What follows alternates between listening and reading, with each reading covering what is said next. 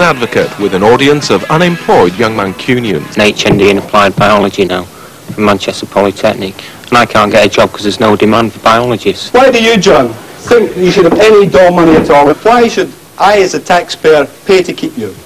because it, when I when I eventually found the job, I pay tax to pay for someone else as well.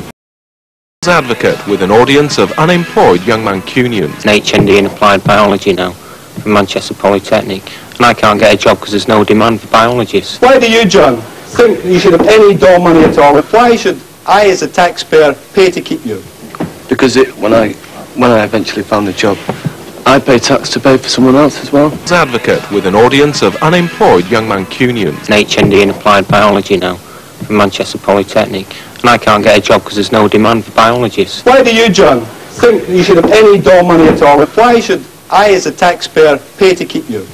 Because it, when I when I eventually found the job, I pay tax to pay for someone else as well.